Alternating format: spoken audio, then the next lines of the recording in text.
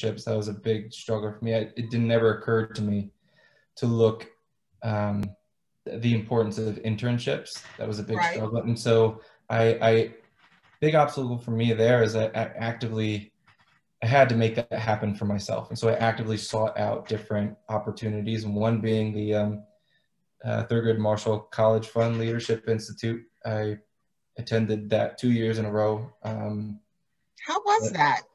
It's fantastic. That's where I got my uh, offer. For, that's where I got my job from Merrill Edge. That's where I got the offer from. Um, and I, I sought that out. Uh, the second year, I went as the ambassador, um, uh, and it was it was great.